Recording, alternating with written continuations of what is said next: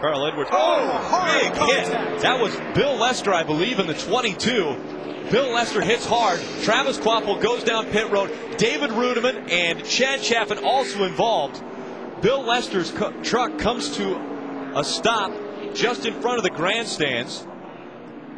David Reutimann David- made contact with the inside wall. There was nobody standing on pit road. I looked up, saw it. David Reutimann hit the inside pit wall. There was nobody standing there, as I don't think we'll have no injuries from the pit crewman.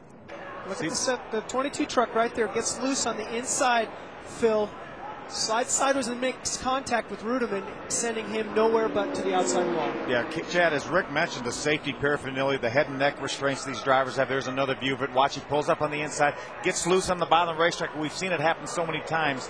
He, he takes the front end of David Reutimann's truck. They both make hard contact with the safer walls. That's what's critical. Is, is that all these racetracks now are installing safer barriers. They, that's where they hit. That would help. All the head and neck restraint systems help. The headrests in the trucks help. I tell you, I, I would have hated to see what would have happened five years ago with impacts like these drivers take. Watch this real time there.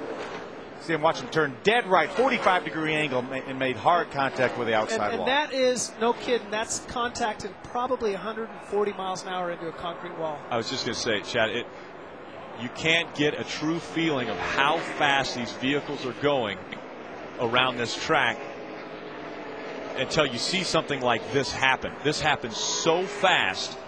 We had seen it before. Bill Lester got loose, went right up into David Reutimann, and there was nothing either driver could do. I'll tell you, a number of these drivers, Shane Hmiel, the 15, the 18, as you saw sliding through the infield grass, made did terrific jobs not to hit him. You see David make contact with the inside wall. He had no control over his truck, no brakes, no steering. There's Travis. Watch these trucks come off that wall.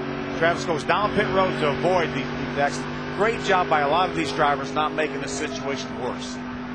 David Reutimann was taken out of his truck. He was conscious and was put into the ambulance. They're taking him now to the infield care center.